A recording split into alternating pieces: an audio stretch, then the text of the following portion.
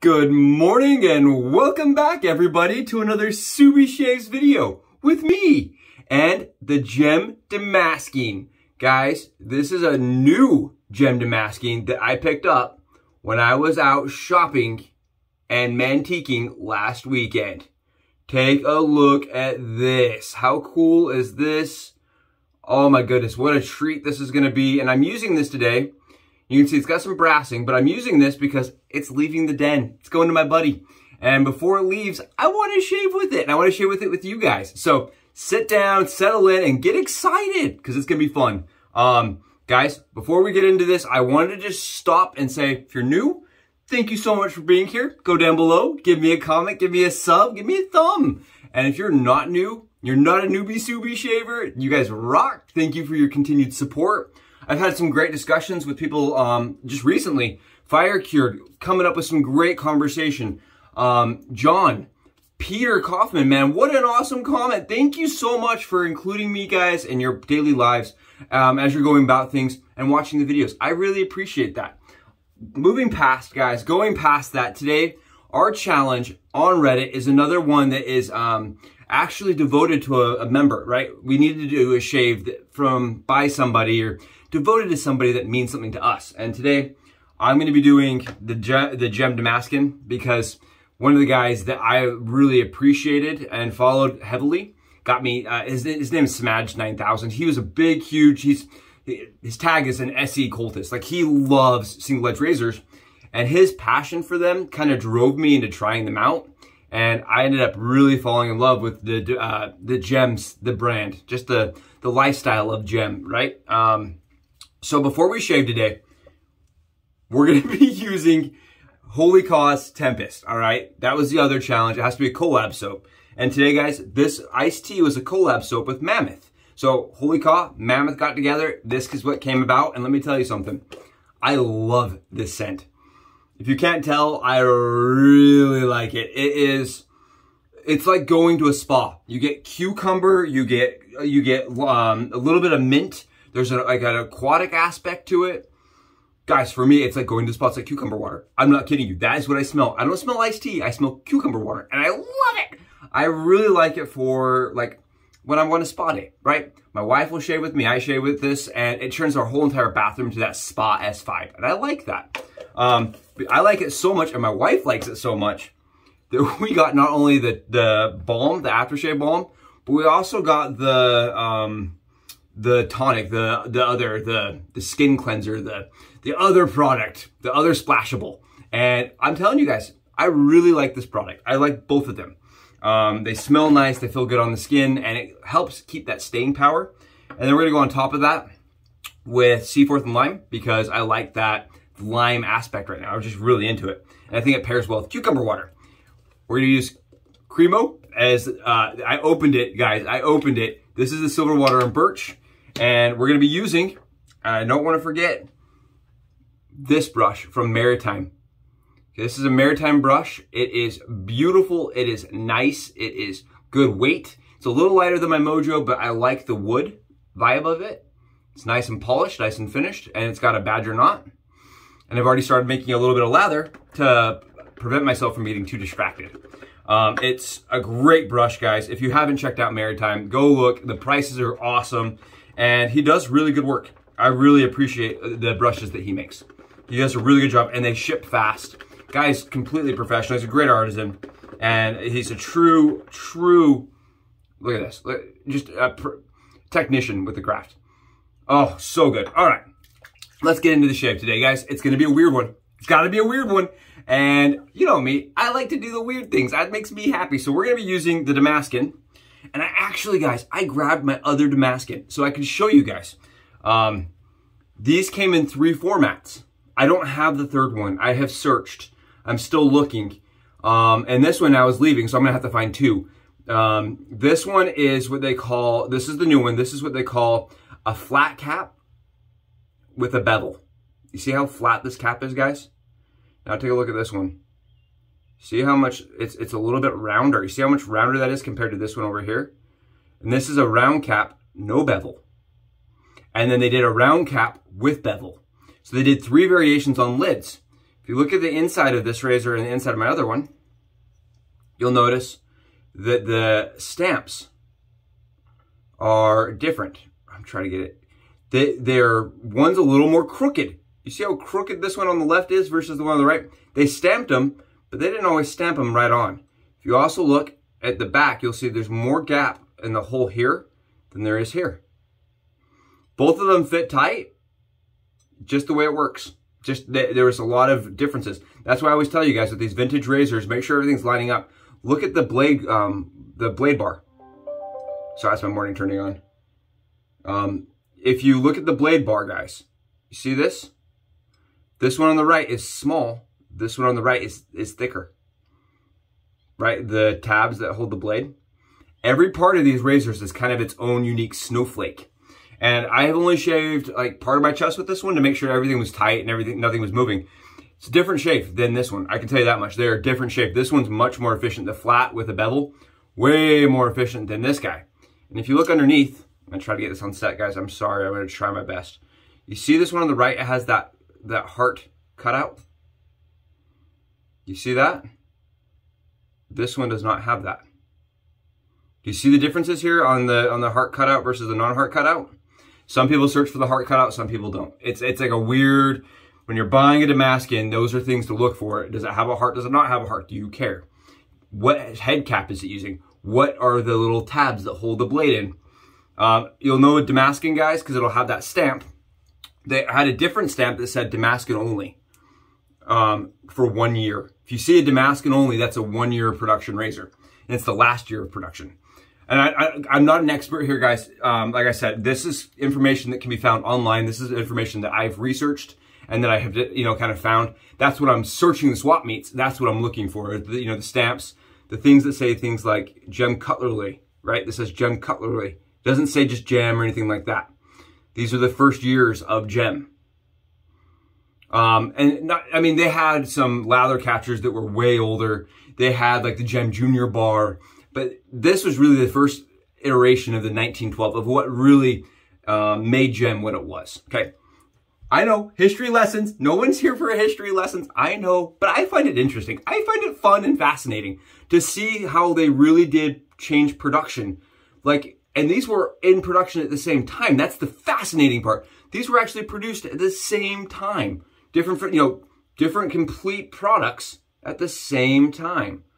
Um, but shave very, very well. Very good shavers. Honestly, very good shavers.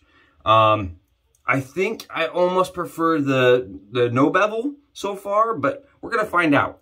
Like I said, I haven't used this one all that much. Um, they did have an open comb variant, guys, for one year. It was the first year. I don't have one. It is the OG. It is what they call the GOAT. the best of both all of them, the god of all of them. Like, I, I, I, don't have one. It's not a boat. It's the best of all of them. We're gonna call it a boat from now on. I, I, you know, I just don't have one of those, but I do have these, and we're gonna use this one on the left today. Um, so let's get into it. How do I like to use these? You guys know, I'm not busting out a gem blade. No, no, no, no, no. We're gonna grab our Subie Skizzes and a DE blade, guys. This is a Personna, and we're just going to remove the blade tabs. And you're like, you're doing what, Subes? We're removing blade tabs. Why? The wings? Clipping the wings? What are we doing?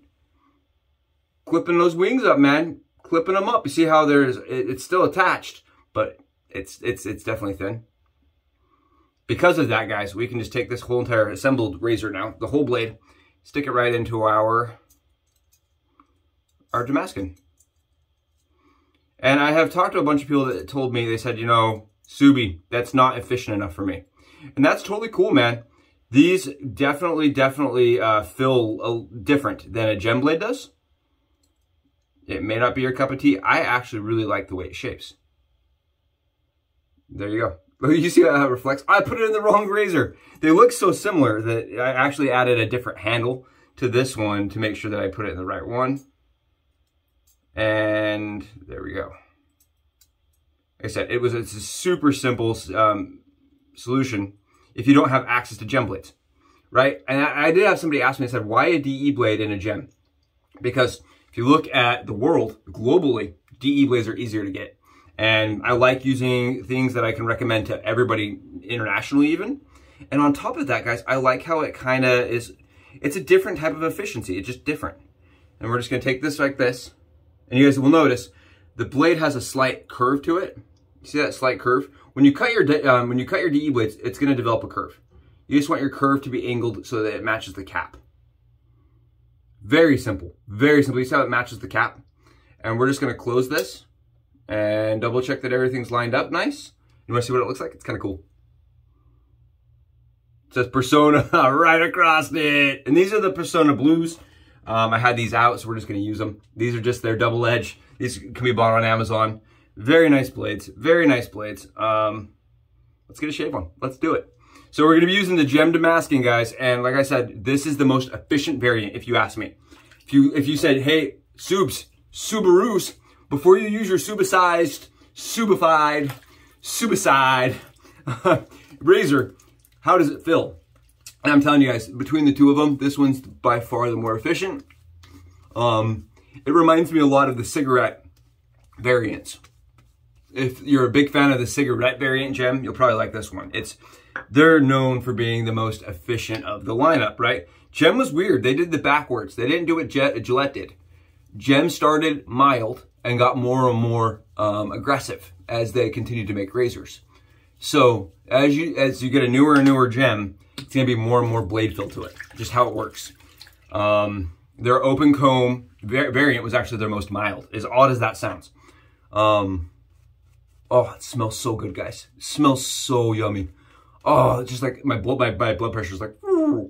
Oh, when you get like that, it just feels like you're spoiling yourself. This soap reminds me of just like I'm spoiling myself, like I'm gonna go for a massage or something, you know?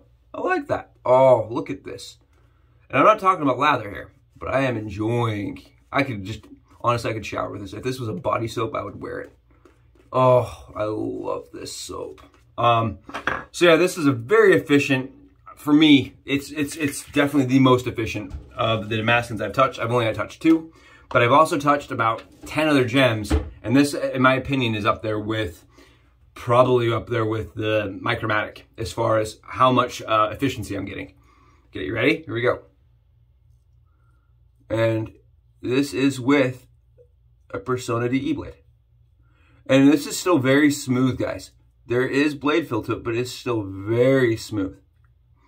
And I think that's why I became such a gem fan um, because it was so smooth and so easy to get a good shave. It does cater to a good, look at that, a good amount of uh, efficiency. And you can see that just it's just taking down the lather, or taking down the stubble. And it holds that lather back there really nicely. And this is a razor I don't usually tend, this variant, because I have the cigarette variant I don't tend to like to go against the grain. We can try it. This one may be a little less efficient than my, my uh, cigarette lighter variant.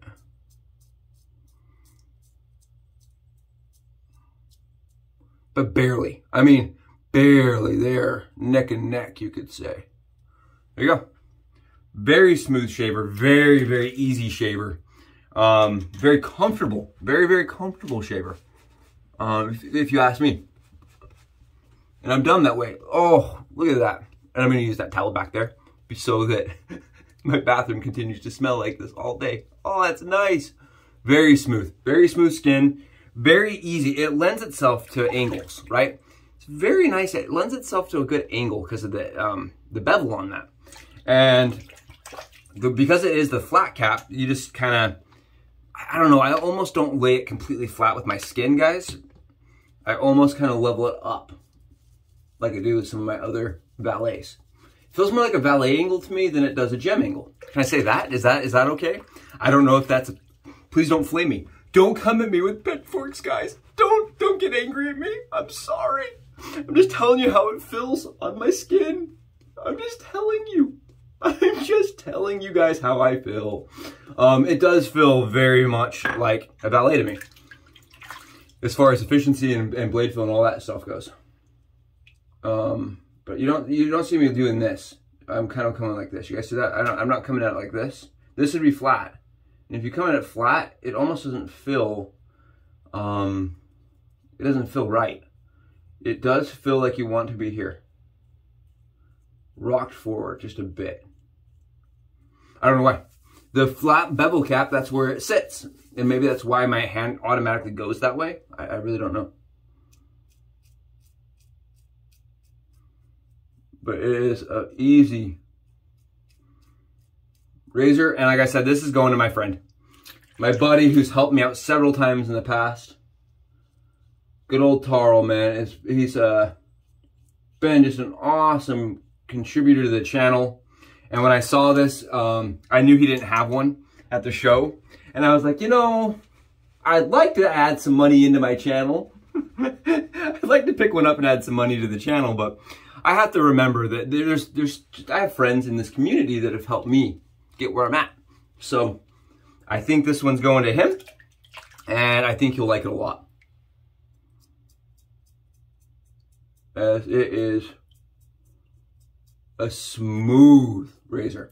And again, I'm using a DE blade, guys. I'm not using a gem blade. Keep that in mind. Right? Your experience may differ if you're busting out a gem blade. I don't usually use gem blades in this razor, in any of my Damascus. Not because they're not good shavers. It's just, I have lots of DE blades, guys. I have lots of them, and they're cheap. And I can manipulate them, right? Like, that's one question I got like a ton of times. Josh, why are you using a DE blade? I get lots of shaves out of my DE blades. I have lots of different ones that give me different types of shapes, right? I can go with feather, I can go with this Personna, I can go with some like really um, like more mild astras if I need to.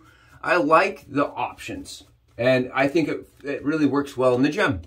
Um, guys, the gem for me is one of my favorite razors of all time. One of my favorites because it's a razor that is a Swiss army knife. It can take a valet blade. It can take a gem blade, can take a DE blade. I can use an injector blade in it. You mention it, you name it. It can't take like a, a hair trimmer blade or an AC blade. But I mean, I mean, if you cut them down, it could. It, because the way they are built, guys, they're, they're tanks and they really do shave well in most situations. All right, we're gonna go against the grain again. Keep in mind too, with these gems, you're using a small handle, right? So with my hand, I sit my hand like this. This took me uh, some time to get used to because I like having that my ring finger on my handle.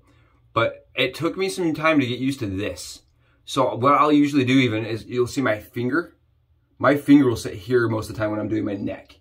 Um, you'll see like my hand kind of supporting with my, my index finger because it's a small razor, guys. The gem is small. That was the first thing that took me away, going from a DE to this. I was like, this is small.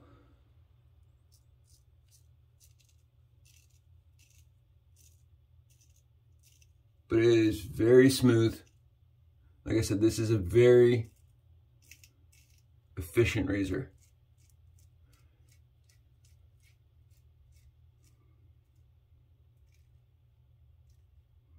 Lots of blade fill, lots of blade fill.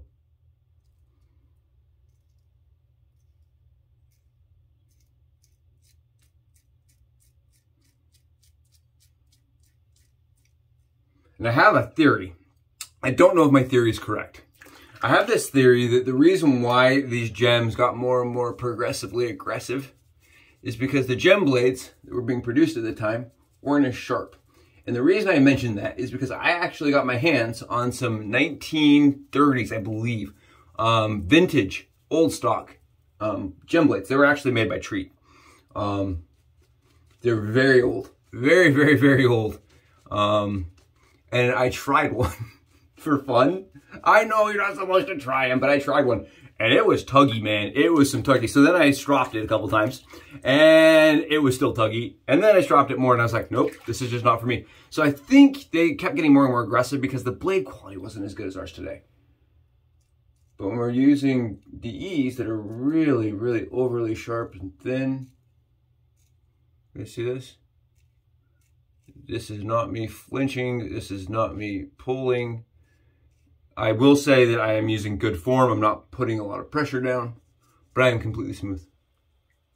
There's not a hair left on my neck, and it doesn't feel like I shaved, right? It doesn't have that like, ow, feel to it. Oh, you can just tell, guys.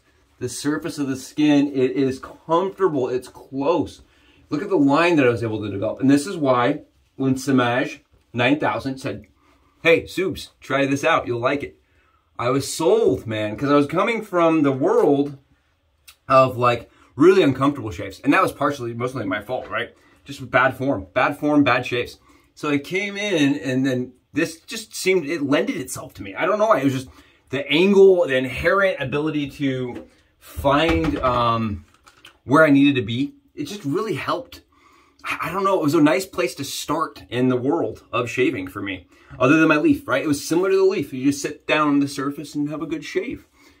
And I just loved it. I fell in love with these little gems. And they have personalities that are just unique. I know I've done some videos on it before because I love gems. I really do love gems. Oh, and this Damascus no different. So if you guys are out antiquing, you're mantiquing, even going on eBay and you're like, I would like to try a Damascus. Three different head caps, guys. That's what you need to know. One with some with hearts, some without hearts, some pictures. It's really hard to tell on eBay. I got lucky when I bought mine because I was searching for a heart variant and I found one. But the pictures didn't show it. It, it just, I just got lucky. Um, guys, this is the wintergreen from CVS. I know you're like, why? Uh, my skin's really, really kind of oily and it feels nice. It's drying and it feels really cooling. Now we're gonna go on top of that with the iced tea. And again, this is the um, this is the toner, and I got the aftershave. Okay, that's the word I was looking for. Toner. Couldn't remember that word. Toner. So this is the toner, and I find the toner to be a little bit more stringent. But this is not filling. I don't know. it's a different feeling than aftershave. But I don't have any burn. I have no burn. I smell nice now. I like this a lot. If you guys don't, if you if you're into this scent, get the splash. The splash is absolutely worth it. I like this. I like. I actually think I like the aftershave more, personally. But when you combine them, I get a really strong hit, really strong hit of that cucumber esque scent. Oh, it's so good, guys. I hope your days are as good as mine is going. I mean, this smells amazing. I feel amazing. The skin is nice and close. We don't have a weeper in sight. We don't have any blood anywhere. We don't have any problems. Guys, have wonderful days. Thank you for being a part of this. You rock. We'll be in touch. Bye, guys.